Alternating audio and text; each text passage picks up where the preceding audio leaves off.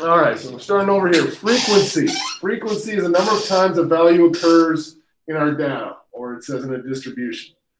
Uh, with, categor- with categorical data, the number of units that fall into that specific category. So, for example, they're going to list the, the, our x values on the bottom, and say we have a bunch of numbers here, 5 through 27. And at number 8, it's three dots high. That means the frequency of getting an 8 is 3. However many we have. I talked about that max and minimum, the maximum is the number farthest to right that we have data for. Like I said, if the, if the highest number was 27, that would be the maximum. If our lowest number was 5, that would be the minimum. Okay. The range is the difference between those two numbers. So if we once again said we're going from 5 to 27, the range would be 27 minus 5 is 22 units in between them. That's what range stands for. That makes sense. Okay. Um, a distribution. These are pictures of three different distributions. It's putting your data on a chart in a um, in either a stem and leaf plot or a dot plot. Okay. Uh, the three shapes we tend to get are up here. The one in the middle is called the normal distribution. Um, maybe a couple outliers in each end with the majority of the data right in the middle. But sometimes we get the data to push right or left. We call this skews right, the one over here. The one over here we call skews left. It's just kind of moving that bump one way or the other. Okay. Now the mode is the number that appears most often. So like if I had uh, one five, three eights, uh, four tens, and then seven twelves. The 12, because had the most of anything, is the mode. Right? It is possible to have more than one. Make sure we have our earbuds out, guys. Good, appreciate that. All right. Now, our two measures of central tendency are the mean and the median. Okay? They sound similar. They both start off ME. The mean is the average of the numbers. So we add up all of our data and divide by the numbers, the number of numbers we added together. Okay, you've done that before. The median is the number that's in the middle. The mean and the median don't necessarily have to be the same. Okay? Um, middle number as opposed to averages can be completely different. Um, these are two measures of central tendency. Um, and depending on the data, one might be better than the other. Typically, there's not a set thing, but median is usually a little better. Sometimes I don't know if better is the right word. All right, now for the actual use of problems. All right, we talked about the mean a minute ago. With this formula right here is saying to find the average, we add up all the numbers and divide by the number of numbers. So where it says x of n, if I get that, Eddie? If we had 20 numbers, this would be x20 here. We add up all 20 numbers and then divide by 20. Worry out. Okay. Um, I would not worry about this. This is summation notation. We did a little bit of that uh, back in trimester 2.2. Not a huge deal. All right, as far as the median goes, in order to use the median, we have to range the numbers from smallest to largest. Um, and then we try and find the middle numbers. If we have an odd number of numbers in our data, the median is really easy to find. It's the middle one. But if we have two, if we have even number of numbers, say we have 10 pieces of data, we have to do a little bit of work to, to find the average of the two middle numbers. We'll, it'll make a lot more sense when we start going through this. Okay, so that's kind of the vocab part of this. Now we're going to put in actual use. Okay. Um, I'm going to slide these up. And this is where you guys are going to start taking some notes in here, if you haven't already. Okay. We're going to find the mean of data A. Now, A has how many numbers inside of it? Five numbers. Okay. So to find the average, what am I going to do to find the average? Add them all up and divide by five. So go ahead and do that right now. 3 plus 1 plus 2 plus 4 plus 5, and we'll divide by 5. I'll give you guys about a minute to do that. I don't. I had one in about six months ago. Someone stole it from me. Do we have a charger that Alex can use? Yeah. Oh, that be so nice.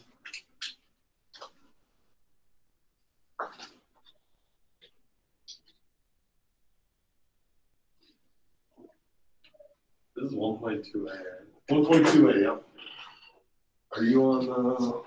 You're on the assignment, not the notes. Oh, okay. Make sure you guys are on the notes. It's gonna go notes, uh, then the assignment after that.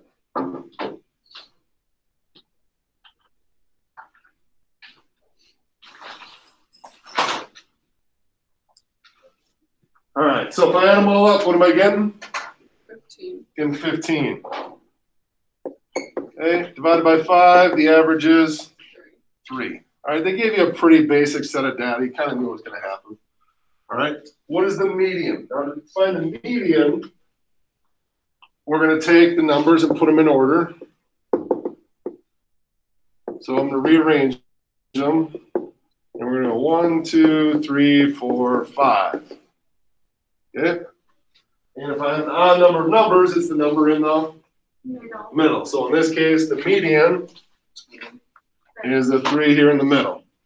All right, so the median is also three. This will not happen all the time. All right. Um, we'll talk more about when the number of numbers gets bigger, how to find the median. It's it can be a little tricky uh, if you're not sure what the middle number is. Right now, I would like you to find the mean of B and the median of B. So see if you can do both of those.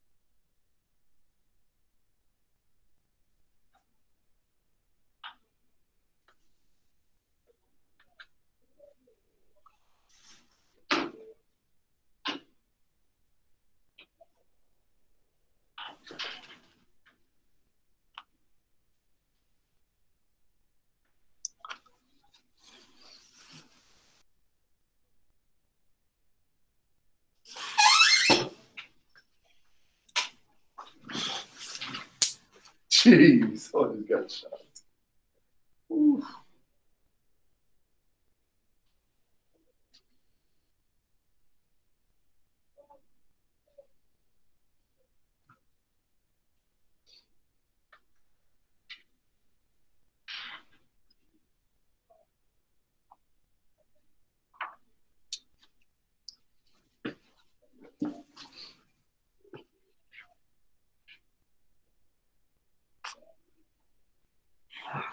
All right.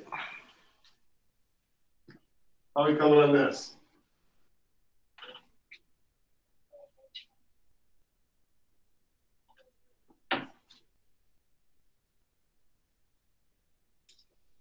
Good, good. Mike won't see it. That's not.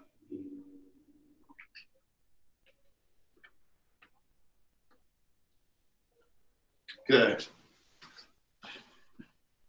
So, I take my numbers, find my mean, three plus one plus two plus four plus twenty-five. Come on. Divide by five. I get thirty-five over five is seven. All right, median of B. I'm gonna put them in order. One, two, three, four, thirty-five. What is the median of B? Here's the middle number. Still three. Okay. For this data set, what do you think is the better piece of measure of central tendency? The median or the mean? Which one's the better, like, true representative? The median is three, the mean is seven. I would probably say the median, since most of those numbers are right around three. If you look at the average, the average is seven. How many of the numbers are are below seven in this case? Four out of five are below seven. So it's not really a measure of what's in the middle. Right? What would we call in this data? What do we call the number like 25? What we go? We got one, two, three, four, and 25 over there. It's the greatest value, but what, but it's compared to the other data, it's kind of outlier, outlier. Okay, it's what we would call an outlier. So now to fill in this blank on this next one, I'm going to read this. Now there's be a blank here, and then I'm going to read the second question. The answer to that blank is in the second second line. Okay. A measure of data that is not easily influenced by extreme observations or outliers is a blank measure, which means the measure of center would be a resistant measure. What word should I put in that missing blank? It's in the second sentence. Resistant. Okay?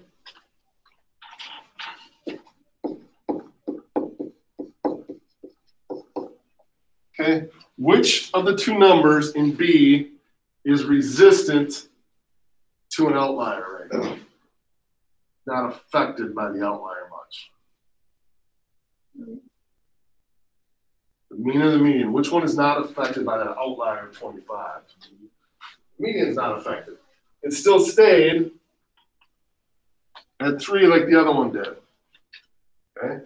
That's why I say sometimes a lot of people say median's a little bit better to use because it's it, doesn't get skewed by an outlier like 25. So to answer this question, we would say the median is more of a resistant measure that won't be affected. All right, I'm going to do one more thing here um, before we go on. Let me erase this.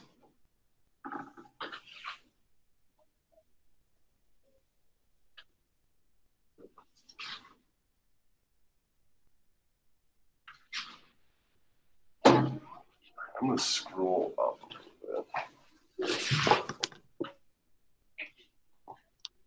All right, so in here, I'm just gonna give you some numbers. And I want you to find the median. This time it's not gonna be an odd number, it's gonna be an even number of numbers. Okay? Um, so let's go three, eight, two, eleven, go uh, 14 and 16. Don't worry about the average right now. Just worry about finding the median. You guys go ahead and do that.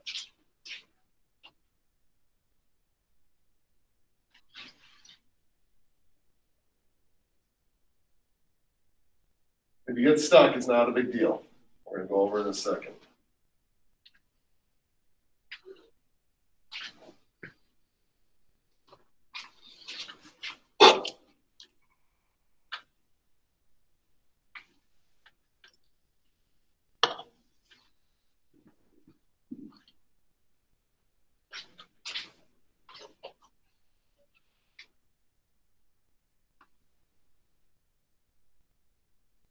What's the problem here? We have six numbers. Is there a middle number stuck in the middle? No.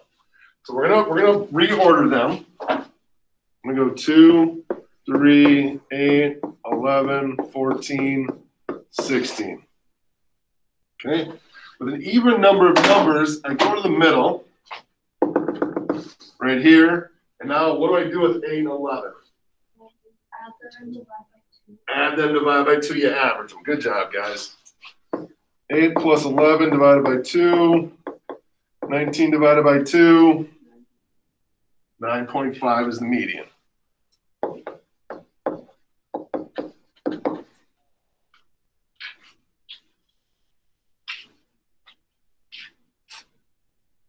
Pretty good there. All right. Now, when I gave you five numbers, in your head, you guys go, okay, number three is the middle one.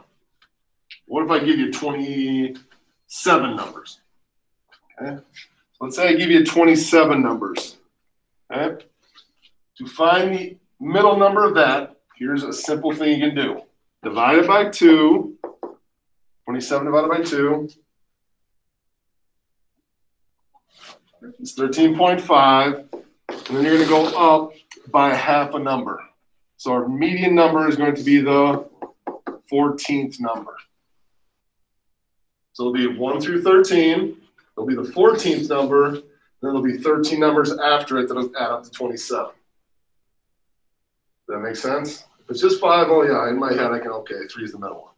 But if I got twenty-seven numbers, just divide by two and go up by a half number, and you got the one stuck in the middle.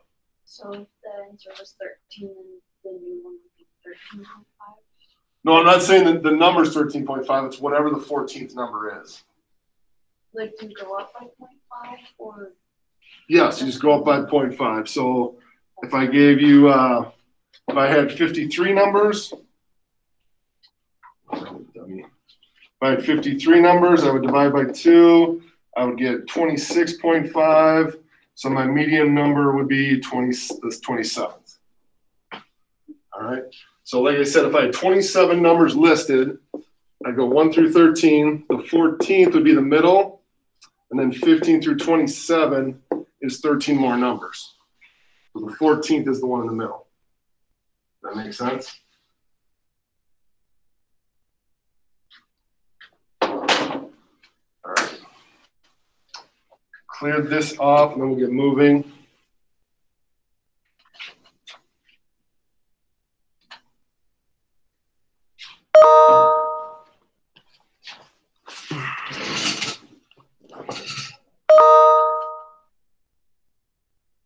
All right, so here we go. Now we have a dot plot. Tomorrow we're gonna do this stem plot. Today we have a dot plot. So this is saying these are the average daily high temperatures for this city in Colorado in the month of April. So April has 30 days. So how many dots do you think are on this graph? 30. Okay. So you're going to do average and things like that. 30 would be your number for that. Okay. So they're saying one day the high temperature was six degrees Celsius. Okay. Uh, there were five days where 10 degrees was the high temperature Celsius. We understand how the graph is made? Okay. Uh, four days, the high temperature was 12. Okay. How many days? It's asking, it's going to ask you various questions. How many days have a temperature of at least 16 degrees? Okay. So what are you doing? You're going to take anything that's 16 or higher. What do you think your answer for this is going to be? Everybody get seven days? Okay, I'll lose the earbuds, please. Okay, so we're gonna wanna make sure we label this. So there were seven days that were sixteen or higher. Just to make sure everybody knows what I'm talking about, so right here, sixteen, so it's one, two, three, four, five, six, seven days were sixteen or higher. We good? Mm-hmm. Okay. How many days are represented in the table? We already did that. April has how many days? 30. 30 days. Okay. What is the mode? Okay. So on this one, they ask you the mode. You're looking for the dots with the, the most. So our answer for this would be 10 days. And then how would you answer? How do you know?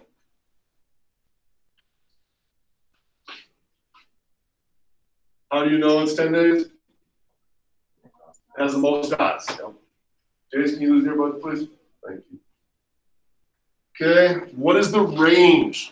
Okay, I'll give you 30 seconds. Think about that. I think you talked about a little bit, but you might have forgot.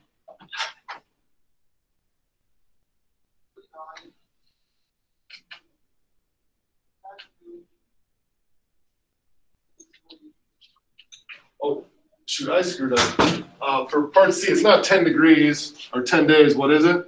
Ten ten degrees. 10 degrees. Holy cow. 10 degrees Celsius. The temperature. All right, what is the range? So what do we say we're doing on this? We're taking the biggest one, subtracting the Smallest one. So what's the, the day with the highest temperature? Nineteen minus six. Thirteen degrees Celsius is the range in temperatures.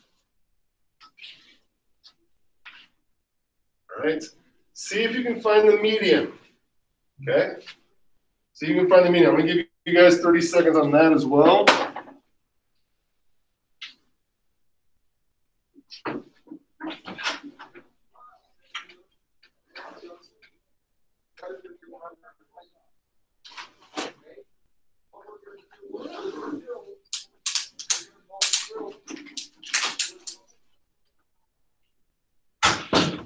I was supposed to get a pass at like ten fifteen. Okay. But I didn't get one on that. either. Let me double check something quick.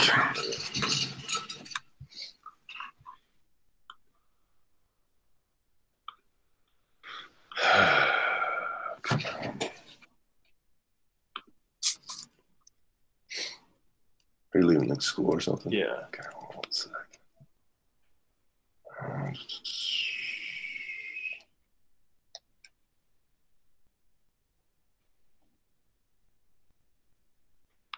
Don't you just head to the office and see if All right. see what's going on or do what you got to do.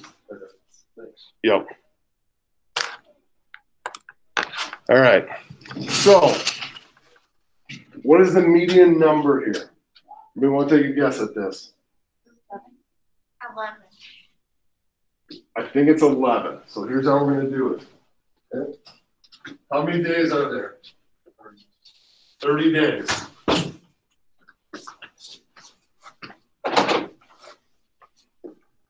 There's 30 days on here, 30 dots. What, what two numbers are stuck in the middle if we have an even number of numbers? If I take 30 and divide it by 2, I'm going to get 15. So I need 15 before and 15 after. So which two numbers in the middle? The 15th and the 16th. So we got 1 to 15 and then 16 to 30. Okay. So here's how I find it. I start at 6 and I start counting dots till I get to 15 and 16. 1, 2, 3, 4, 5, 6, 7, 8, 9, 10, 11, 12, 13, 14, 15, 16. So in this problem, 15 and 16 are the same number. That makes sense? Okay, so what number is that? Eleven. 11 degrees Celsius.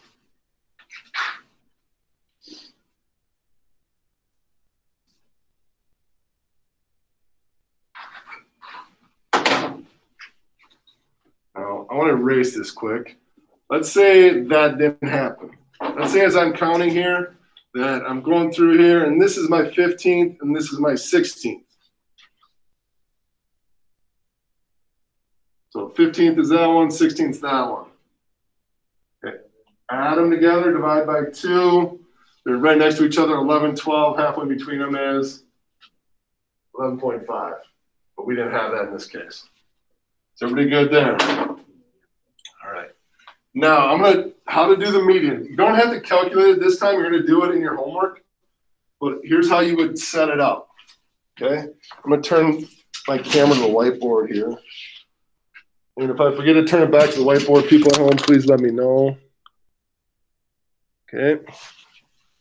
So, how many sixes do I have? One. Got one six. And I'm going to show you two different ways you would do this. Okay, there's 30 numbers in April, we said. How many sevens do I have? Two. Seven plus seven. Okay, how many eights? Two. Two. Eight plus eight. How many nines? Three. Three. How many tens? Five. Five of them. All right. You get the idea. You keep going. Okay. This is how you would set it up, and then you'd add them all up and divide by 30. Here's another option for you. Okay. Here's the other option. Okay.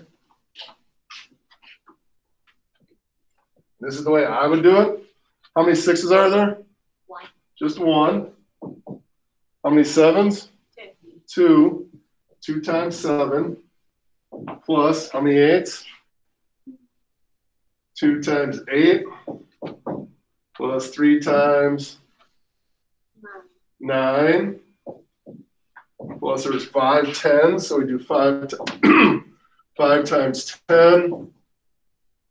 And it's maybe a little less writing instead of to write out all thirty numbers. Get the idea? Either way, it's gonna work out the same way. So you do your PEMDAS, you do all your multiplying, and then you add them all up. Okay?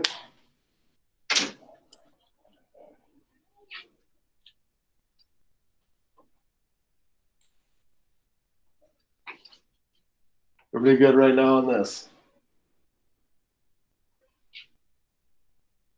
All right, I'm gonna erase this. Can I erase this? Is everybody good?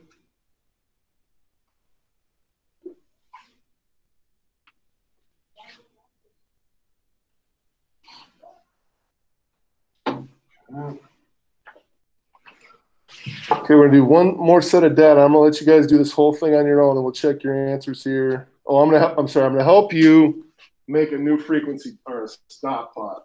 Okay, we had, didn't- last time was made for us. Okay.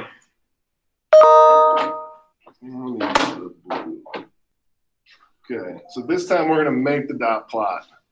What's the lowest number we have? Three. Three goes all the way up to ten. I'm gonna start out with. Start out, I'm gonna go three, four, five, six, seven, eight, nine, ten. Okay, I might start out, there's more than one way to do this. Some people just, they start on the left and every time they get a number, okay, nine, they put a dot. Okay, then I got two sixes, and I put two dots. I just kind of go across the table. You see what I'm doing there? And then they go, okay, at seven, I got a dot. Uh, I got another six. That's one way to do it. I don't care which way you do it. The other option is start out with three. How many threes do I have? I got one three. Uh, how many fives do I have? I have no fours. I have one five. All right. How many sixes do I have? One, two, three, four, five sixes. Okay, how many sevens do I have? One, two, three, four sevens. All right, how many eights? One, two, three, four. All right, how many nines? One, two, three, four. How many tens? I have two. All right. So right now, I'd like you to answer all these questions.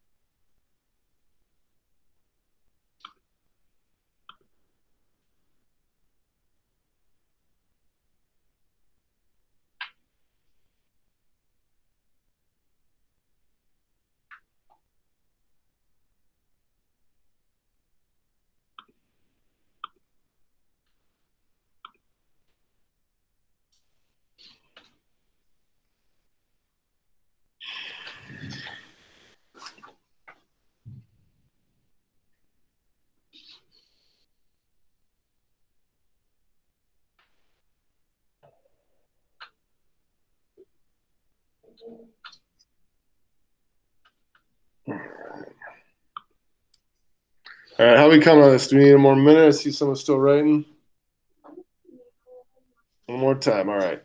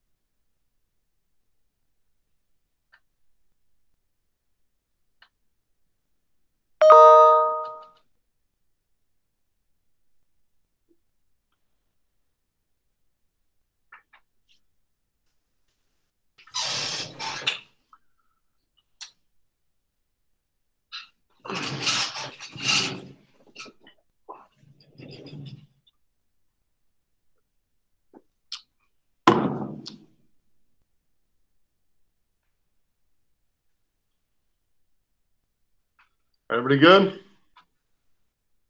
Maybe, yeah. All right. What is the mode? What a number appears most often? Six hours. Six, and you know, we were talking degrees before. Now we're going to label with hours. Six hours. Okay, and why is that? Six has the most dots. It's got the most dots. Uh, what happened if nine had one more dot? It would be sixteen. It'd be six and nine. Good job. What is the range? So most hours take away least hours. So minus three is seven. 10 minus 3 is 7 hours. So 10, take away 3. Boom. All right. How many numbers did you guys have? Twenty-one. 21 numbers. So what number is the middle number? The 11. So once again, this is that case we're talking about. I had 21 numbers. I divide by 2. I get 10.5. So what number is the, the middle one? The 11th, half a number up. So I just started counting dots on the left side. 1, 2, 3, 4, 5, 6, 7, 8, 9, 10, 11. So what number is that? Seven. Seven hours. Okay. I'm gonna do the mean, how I would do it. Once again, you could list out three plus five plus six plus six plus six plus six plus six plus seven plus seven plus seven plus seven plus eight plus eight plus eight plus eight plus nine plus nine, and add them all up. Or you could group it like I'm doing in this problem here. Okay? I'm gonna do it this way as opposed to this way. I think it's easier, but it's up to you. Okay, so we said we had 21 numbers, so that's gonna be our divider. Okay, I have one three, one five. How many sixes? I have five sixes. How many sevens? Four. Four. How many eights? Four eight. Four eights. Four nines. Two tens. and two tens. Okay, that way I'm not writing out twenty-one numbers across my board. Oh, sorry, I'm gonna turn the camera for those of you at home. Okay, so three and five, if you wanna add them now, you can, you can make it eight, or you can just go three plus five. Five times six, thirty, four times seven is twenty-eight, four times eight is thirty-two, thirty-six, and twenty. Okay? You can put all those in your calculator, you can add them one by one. I like to do something, I'm gonna just do it now. If you want to watch, you can, you don't have to do it my way. Uh, three plus five is eight, plus thirty is thirty-eight, so let's just add up the first two numbers. Twenty-eight and thirty-two, add up to sixty. Thirty-six and twenty is fifty-six. All right, now I'm just gonna add all these three together. Okay, uh, thirty-eight and sixty is ninety-eight. Ninety-eight plus fifty-six, uh, hundred and fifty-four. Divided by twenty-one, Seven point three. we get seven point three repeating. Okay, That's the average. Caleb, head up off your desk, please. Thanks, buddy. Okay. That's the average. Okay, slide this up. Uh, what is the shape and the outliers? Okay. Um, if I did my shape on this. Okay.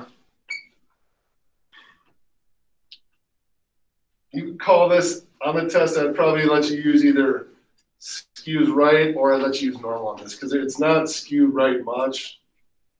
Um, is there an outlier in this one? Six hours. Hmm, six is an outlier because it's kind of in the middle. Outliers are ones that are way out from the edge. I don't think I would even say three. You could. I don't think I would mark it wrong, but I don't think I would use it. The example problem, the one we did earlier, when we had one, two, three, four, and 25, that's an outlier. Okay. This one's not bad. I wouldn't, like I said, I wouldn't mark off if you wrote down three, but I think I would leave three out. Okay. All right, guys, go ahead, work on that assignment. Due tomorrow. Well, yes, Alex? I would either write either normal distribution is right. Either one on this one I would take.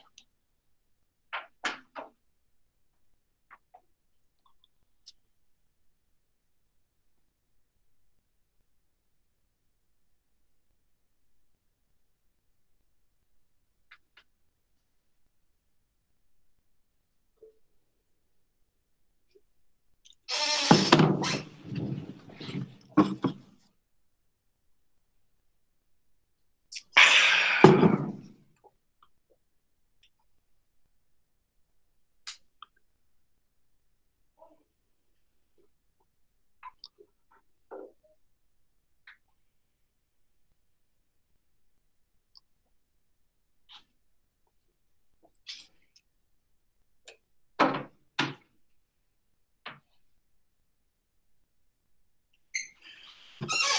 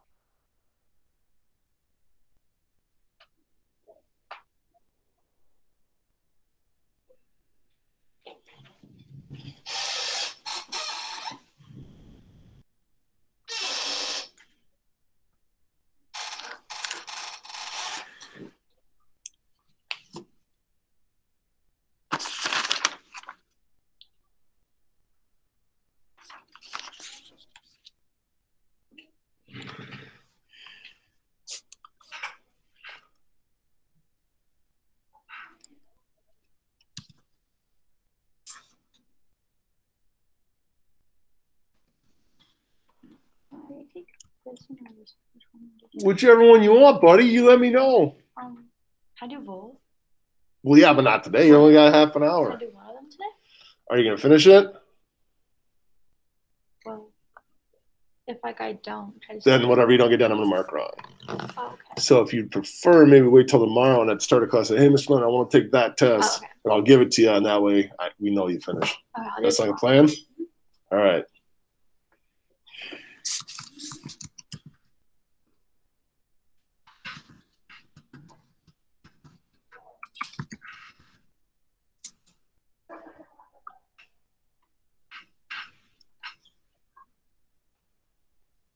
Yeah.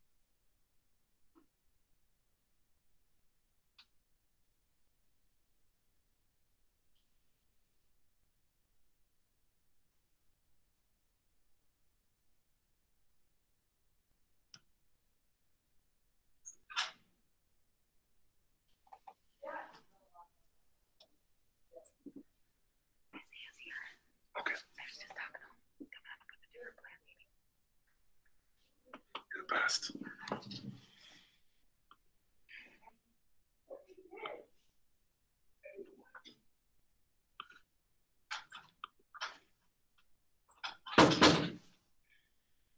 Thank